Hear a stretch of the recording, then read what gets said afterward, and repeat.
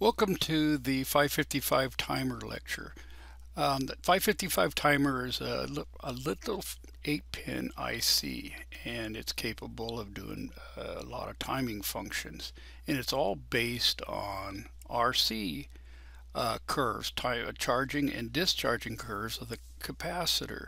They're exponential and they're well known for charge and discharge and since they're uh, calculating, we could calculate based on those curves.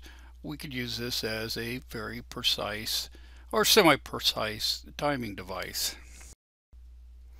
Here is the resistor capacitor uh, charge and discharge chart.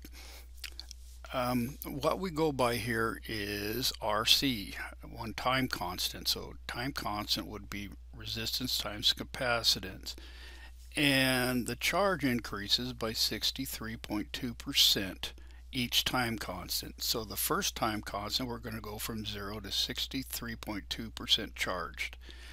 And every time constant after that we're going to go up by another 63.2% of the remaining.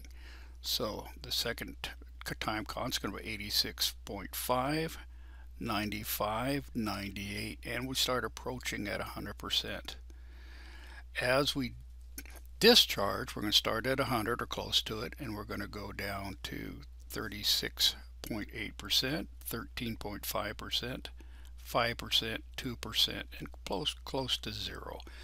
Um, we're going to consider that a capacitor is fully charged in five time constants.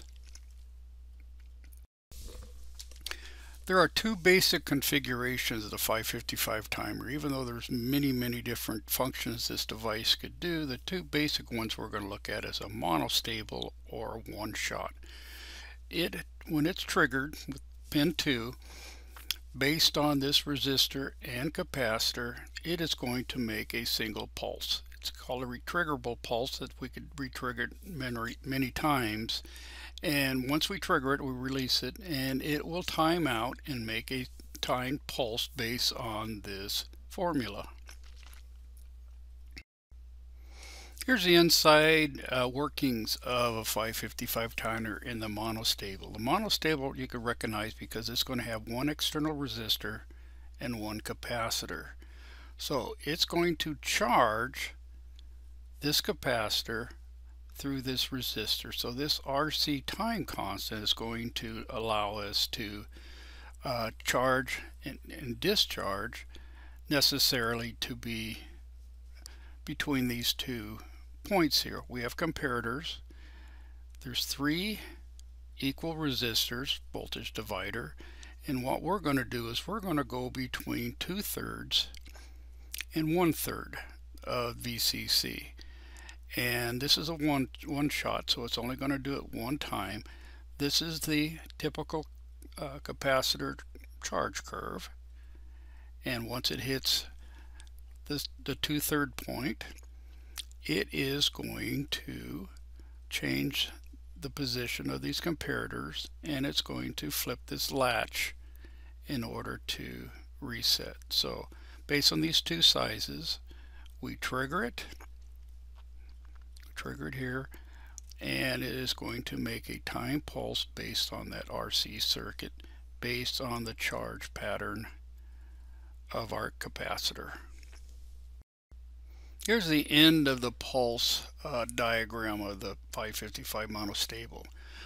We're going to, once we charge this, which we've done already, it's going to discharge once it hits this two-thirds point Okay, we're going to discharge this capacitor through our transistor to ground and it is going to turn that device off and it is going to go down to the one-third position and wait for it to be retriggered.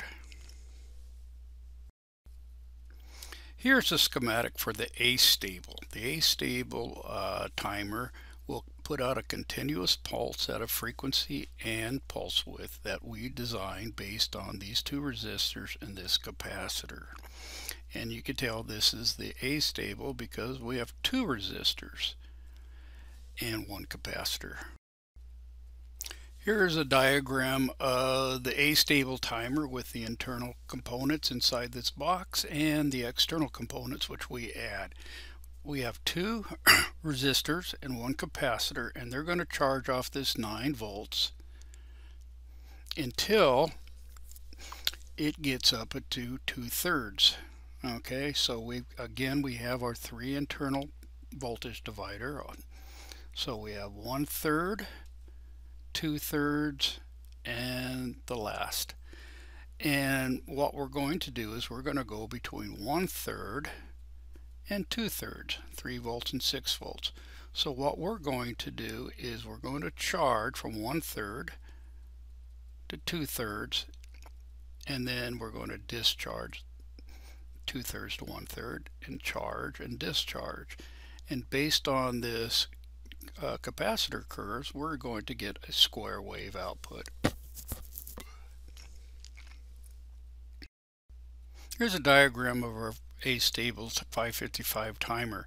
Once it's completely charged, it is going to go up to the two-thirds. This comparator is going to change. Our RS latch it'll change and it'll turn on this transistor and we're going to charge, discharge through this transistor back to ground. So we go up to two-thirds. We're going to switch this transistor on. It's going to drain the capacitor. It's going to go back down, switch it, and turn the transistor off, and it's going to recharge and discharge back through this cycle. And if you notice here, we're going to charge through two resistors and we're going to discharge through just one of the resistors and that's going to set up our our pulse width and uh, duty cycle of our output.